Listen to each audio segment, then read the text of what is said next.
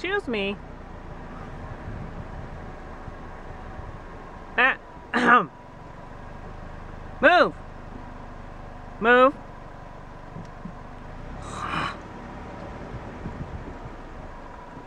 What?